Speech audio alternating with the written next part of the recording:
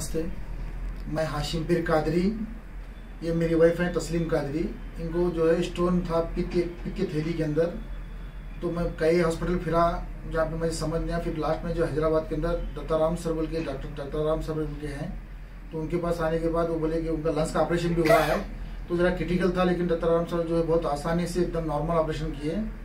आज को मैं ऑपरेशन करा के आठ रोज हो गया। अभी टाँकी वगैरह सब खोल दिया डॉक्टर साहब अभी बीजापुर जा सकते कंकर पित की थैली निकाल दिए। एकदम नॉर्मल ऑपरेशन किए। रिक्स था, लेकिन ऑपरेशन में एकदम आसानी से बहुत अच्छे डॉक्टर साहब हैं, बहुत अच्छा हाथ है उनका का बस इतना बोलना चाहता हूँ, मेरी वाइफ भी जो है, आप भी ये पेशेंट यही हैं, ये भी कुछ बोलते हैं आप।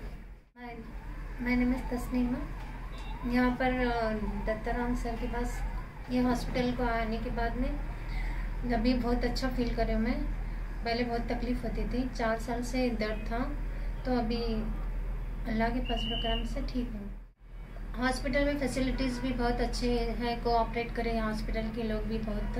सर्विस भी अच्छी है, सब जो है, अच्छे से अच्छा सब जनरेट सिस्टर हो डॉक्टर्स हो, जो भी हैं, सब अच्छी सर्विस देते हैं।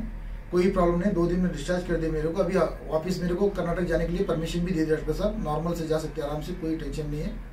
कुछ भी नहीं हो रहा है उनको फीलिंग भी हो रहा है कि कुछ कुछ भी ऐसी तकलीफ़ नहीं है। जैसा चार साल से तकलीफ़ थी मैं बहुत से डॉक्टर पास गया बड़े बड़े डॉक्टर पास, बेंगलुरु तक भी गया था मैं।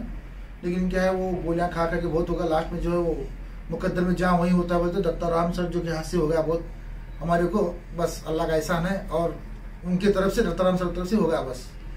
आपको अगर कोई भी ऐसा प्रॉब्लम हो तो यहाँ पे आ सकते हैं। दत्ताराम सर से कॉन्टेक्ट कीजिए। इंशाल्लाह हर बीमारी का इलाज होता है यहाँ पे।